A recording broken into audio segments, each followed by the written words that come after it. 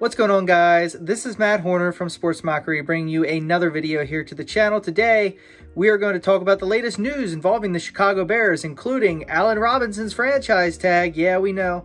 We knew it was coming one way or another. The Bears tag Allen Robinson, and of course, Kyle Long's return to the NFL. So we're going to go over these things today. Only going to be a couple minutes, but we'll talk a little bit about them and go through them.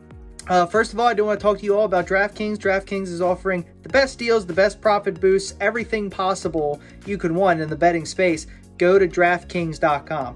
DraftKings Sportsbook offers great value, the best numbers, the best lines. They got a ton of different deals that go on all the time.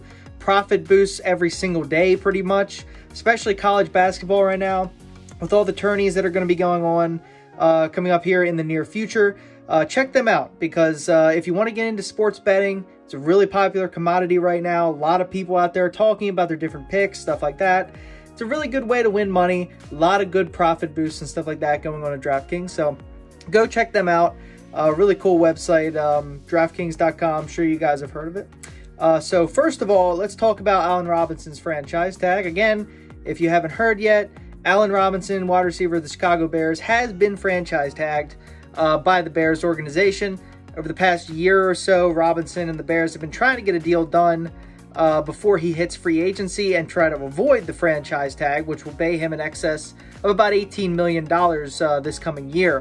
Uh, obviously, the Bears don't want to have a cap hit that large in a single year of $18 million, uh, but the Bears did what they had to do. They couldn't reach an agreement with Robinson.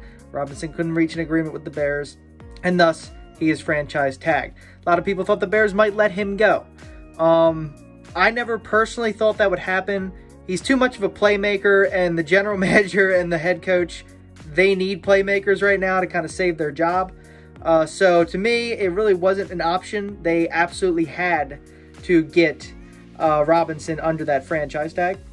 Now, 18 million is a lot per year. Like it is, it is a lot of money per year. Um, but at the same time, he's one of the best wide receivers in the NFL, and they still have time. He, he's not going to hit free agency now, so they still have time to work out a long term contract.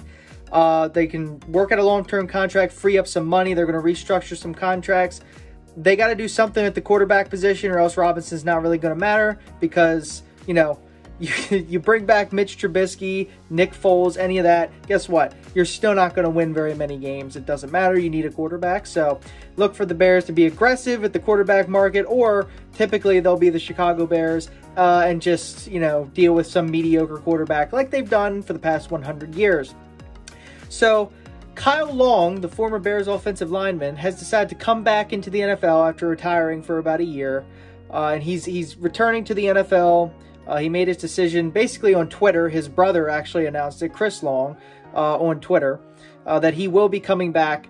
Uh, he probably won't be playing for the Bears. Uh, actually, a user uh, asked him, well, a user put a tweet out that Kyle Long had said, a quote, that basically said uh, he's going to be a bear for life, the way this organization's treated me and stuff like that. I'll have the tweet up here in the video.